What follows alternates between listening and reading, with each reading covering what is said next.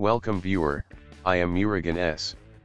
This video tutorial describes, fix right click context menu new folder missing.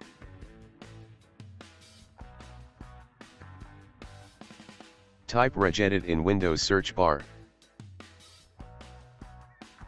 Right click run as administrator. Click and expand HKey classes root.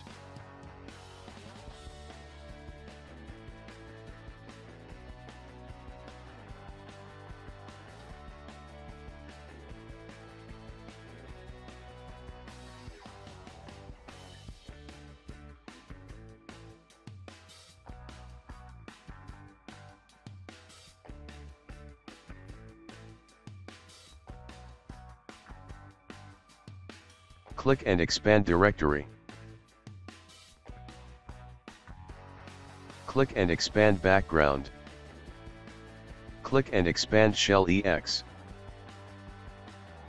Click and expand context menu handlers.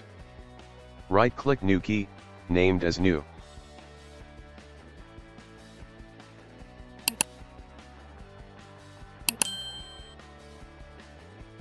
Open default string. Copy value data from description and paste it.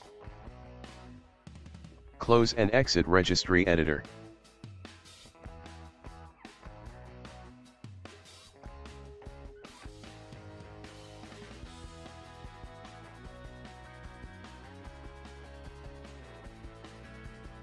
I hope this video tutorial helps to you, please like, share and don't forget to subscribe my channel, thank you very much, see you next video.